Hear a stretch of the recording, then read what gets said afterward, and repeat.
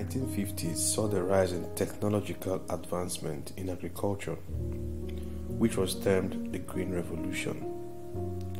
This agricultural farming process is input intensive and industrial in form.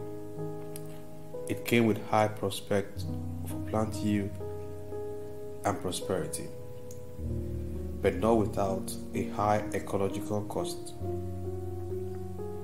It employed the massive use of inorganic fertilizers and pesticide, with homogenization of crops and big fossil fuel laden machines. Further impact included the destruction of indigenous or traditional farming system, the marginalization of smallholder farmers who feed the world, degradation of soils, and loss of biodiversity.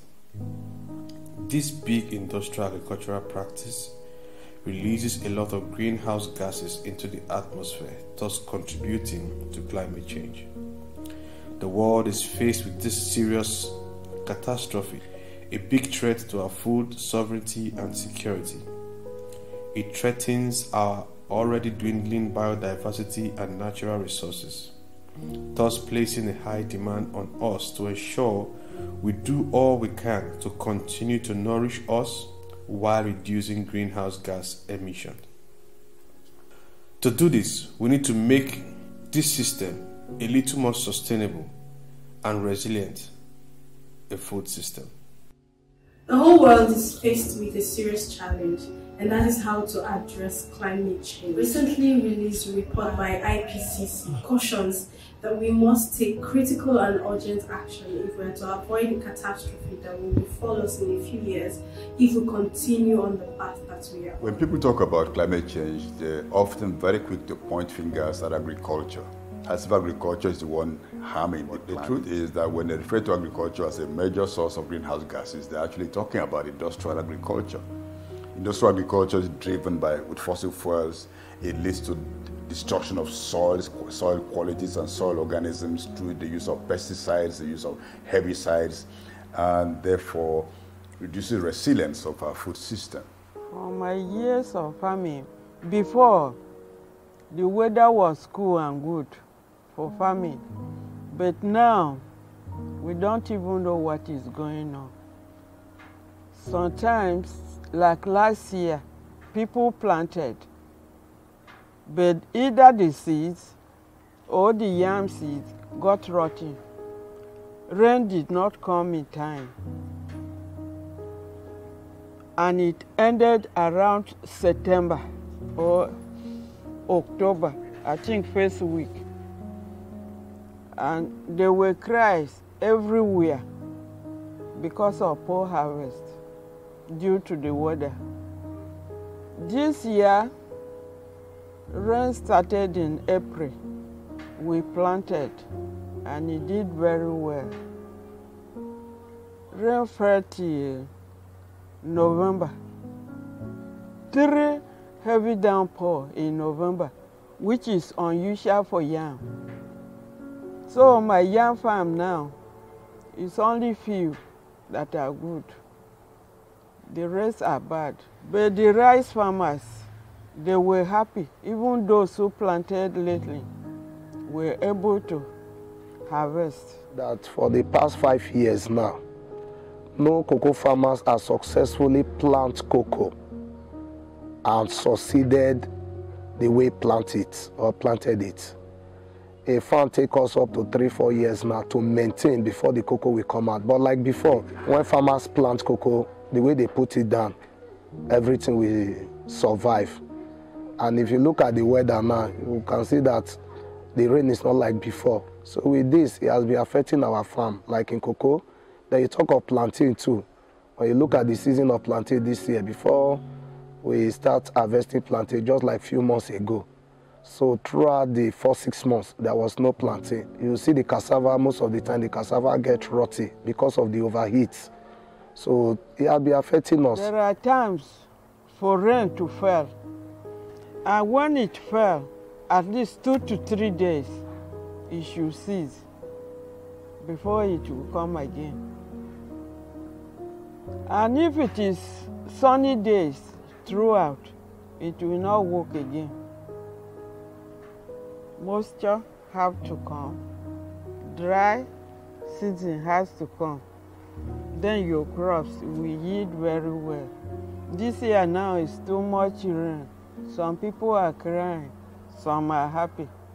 Smallholder farmers across the world are returning to their age-long agricultural practice we now call agroecology. It's time to embrace agroecology, which works with nature instead of against it.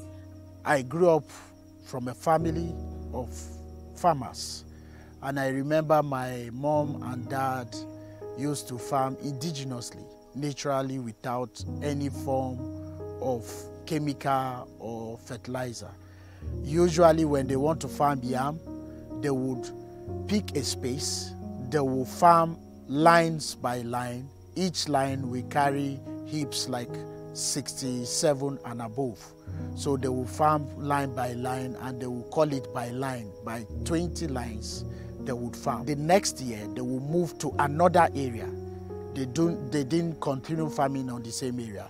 So while I was investigating, I now discovered that they wanted the land to rest and uh, to so that there will not be any filtration in nutrients. When we talk about agroecology, we are talking about an agricultural protection system that uh, lays emphasis on effective utilization of environmental resources, judicious use of environmental resources to address an agricultural production.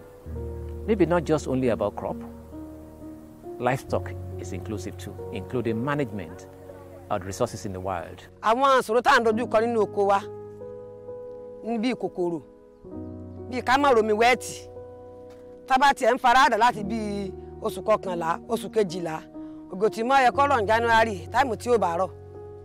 Tábà ti rí ìgbẹ́ adìẹ ìgbẹ́ màálù ìgbẹ́ ehoro tábà ti bù sínú oko wa á fomi sí i. Tábà ti fomi sí i mọ́ ọjà wo change.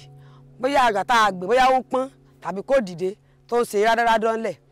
Tábà ti bu àwọn ìgbé adìẹ ìgbé ehoro ìgbẹ́ mọ́ tábà ti bù sí i ọjà wa máa change. Tábà pọn mi sóko tọ́pọ̀lọpọ̀ tó mi bá dun oko dáadáa tábà ti fi ìgbé adìẹ ìgbé ehoro ìgbẹ́ ọjà wo dìde nítorí pé àwọn tó lo ajílẹ̀ tó ń bara jẹ́ gan ọjà wa ó máa ń ju ti wọ́n lọ tó kọ́ lọ́dọ̀ wa ń bì àìlajílẹ̀ àìsí ìlò oògùn kòkòrò àìlò kẹ́míkà kankan gbọ́n tá bá rí wípé àwọn kòkòrò kọ̀ọ̀kan ó ń jẹ oko wa tá bá ti mú èpo ẹ̀yìn ọsàn tí wọ́n máa ń hòun tá bá ti sókè ẹ̀ lómi àmọ́ tó bá dijọ́ kẹta àmọ́ bù sí i ìgbà míì bí ká bọ́ sínú igbó ká mú ewé dóngóyárò èpo dóngóyárò ká rẹ́ sómi ká bù ẹ̀ tì. Weed issue. I will say this fertilizer even bring uh, weed to our farm. Those who don't spray, they weed their farm. You will not see all sorts of grass growing into their farm. But when you spray, even there's one flower like this. If you go to my young farm now, it has grown there plenty, but it has not been there before. But due to fertilizer, it even in, increased the grasses inside our farm.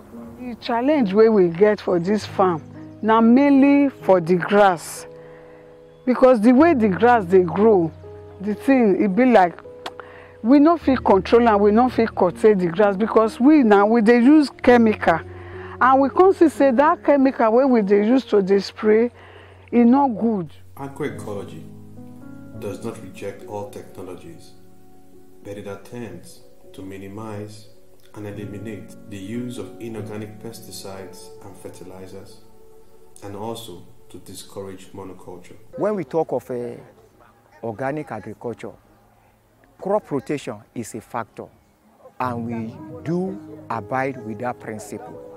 And at times, we usually combine some crops, which are directly or indirectly mixed cropping.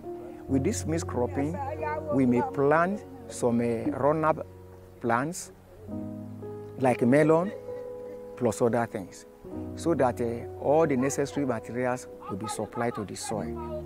And when we talk of uh, how do we usually uh, introduce manure into our farm, we have so many methods of doing that. The first one is we usually introduce cured poultry waste. That is about all we collected poultry waste. We allow it to dry and be cured for a minimum of three months before we apply it to the farm.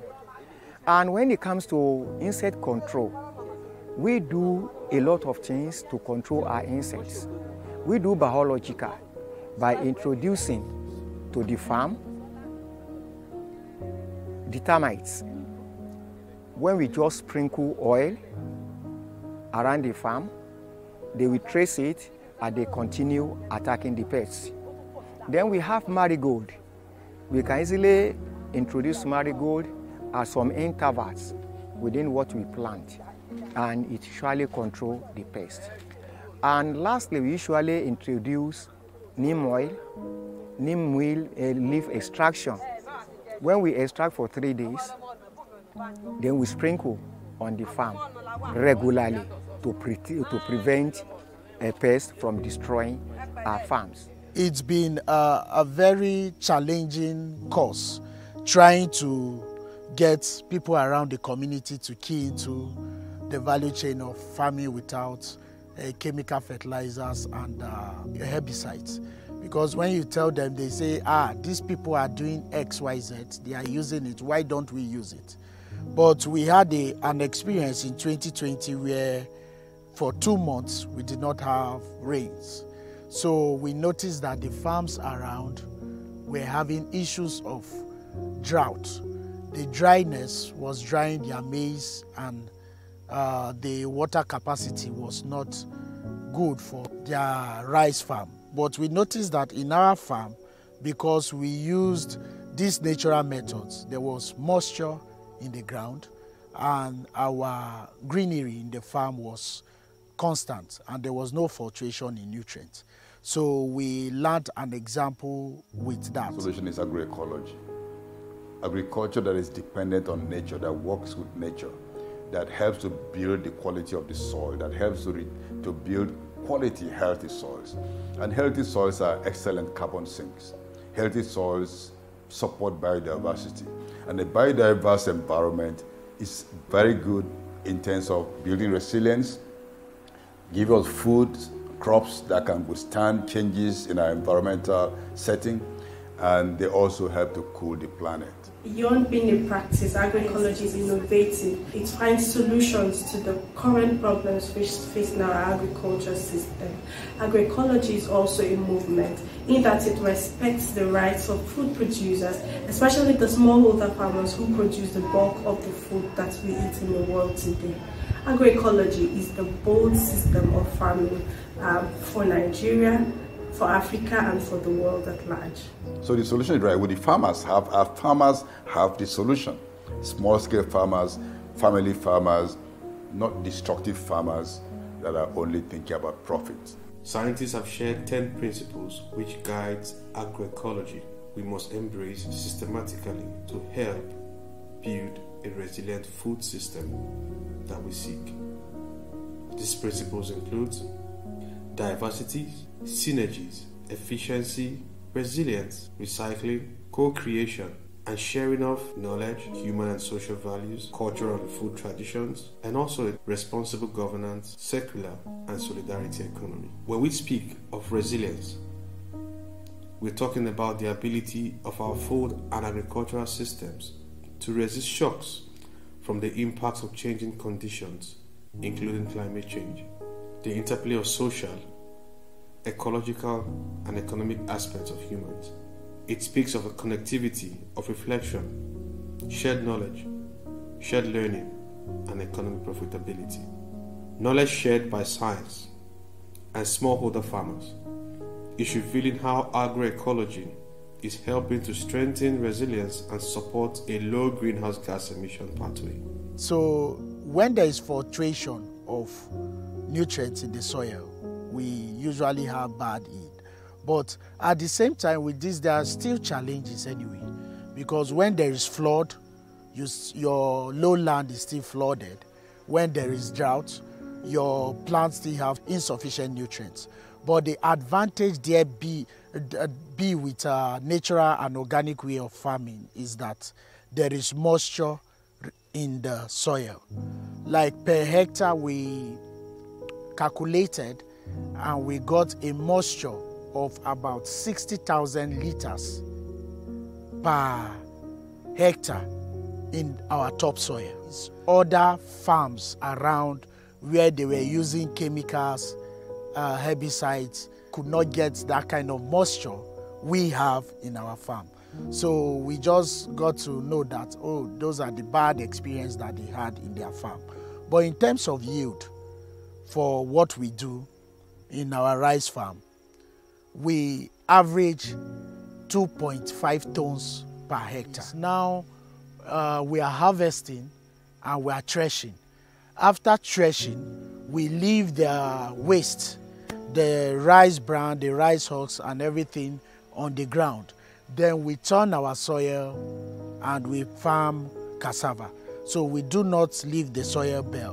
As we are harvesting, we are also planting. We are also planting other tubers and other covered crops. The farmers are harnessing the power of synergy between plants farming, animal farming, and traditional farming practices to reduce the dependence on inorganic fertilizers and pesticides for high farm yield. This process also enhances healthy and fertile soils required for food production. Agroecology emphasizes the use of on-farm inputs rather than external inputs and this will also reduce the uh, amounts of uh, purchasing external inputs for farmers and this will bring more income for farmers and also production of healthy food. The gains outweigh the problems. There is an urgent need for our farmers across Nigeria, across West Africa, across Africa, and around the world to embrace this pathway called agroecology. And the time to do this is now.